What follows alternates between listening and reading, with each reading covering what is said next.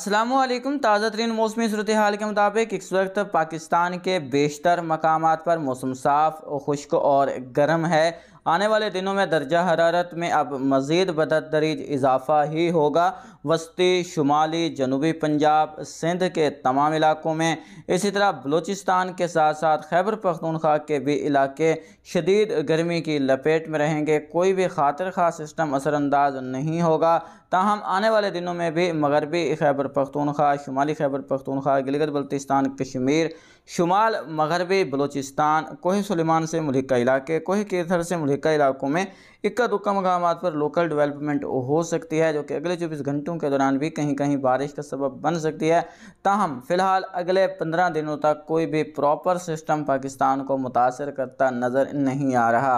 अभी सिस्टम पर बात करें तो एक मगरबी सिस्टम जो है वो कश्मीर के इलाकों पर मशरक़ में मौजूद है, जबकि एक कमज़ोर सा सर्कुलेशन अभी भी पंजाब के मशरक़ी इलाकों पर बना हुआ है। एक एंटी साइक्लोन अभी भी जनूबी इलाकों के करीब मौजूद है। तो आने वाले 24 घंटों के दौरान कोई कीर्थर से मुलिका इलाकों में, जिसमें जैकबाबाद, लाड़काना शहदाद कोट दादू, जोही वही पांदी मोरो, सखर खैरपुर मीरस घोटकी के इलाके शामिल हैं। इलाकों में कहीं कहीं बादल देखने को मिल सकते हैं। लेकिन याद रखें, जहाँ बादल ज़्यादा एक्टिव रहेंगे, वहाँ बारिश दे सकते हैं। बाकी इलाकों में मौसम खुश्क रहेगा। यही सूरत हाल खुजदार झलमगसी डेरा मुराद जमाली, डेरा बुगटी के इलाके हैं।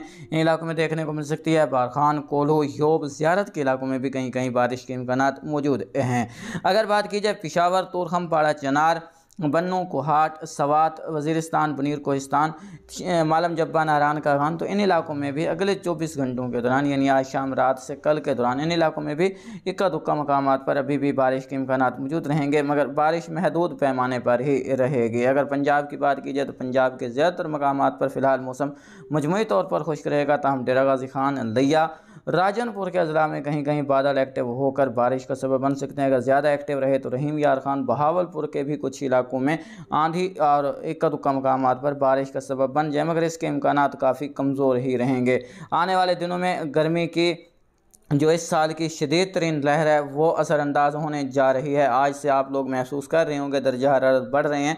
तो उम्मीद है कि कल से इनमें मज़ीद तीन से चार डिग्री सेंटीग्रेड इजाफा होगा और ये इजाफा रोज़ाना की बुनियाद पर देखने को मिलेगा और अगले तकरीबन दस दिनों के दौरान इन दर्जा हरारत में कमी आने का इम्कान मौजूद नहीं है। वस्ती जनूबी पंजाब, सिंध, बलूचिस्तान के मुख्तलिफ़ इलाकों में दर्जा हरारत उनचास से इक्यावन बावन डिग्री सेंटीग्रेड देर तक भी रिकॉर्ड हो सकता है। हीट स्ट्रोक के ख़तरात रहेंगे, हवाएँ भी कोई तेज़ नहीं चलेंगी। चलेंगी भी तो नॉर्मल से हल्की शिद्दत की होंगी और वो भी गर्म लू की तरह। इसलिए मोहतात रहना होगा, ये माई बहुत बड़ा इम्तिहान है और इस इम्तिहान से हमने गुज़रना है। इन उसके बाद हमें अच्छी बारिशें दिखाई दे रही हैं। दुआ करें कि मौसमी हालात ज़्यादा तब्दील ना हों। जिस सूरत हाल से हम देख रहे हैं, अगर अचानक से लानीना कमज़ोर ज़्यादा होता है तो फिर हमें लग रहा है कि हमें ज़्यादा देर तक खुश्क मौसम का सामना करना पड़ सकता है। लेकिन हम दुआ गो हैं कि अल्लाह ताला अपना ख़ास करम फरमाए और जून में मानसून प्री मानसून की अच्छी बारिशें नसीब हों।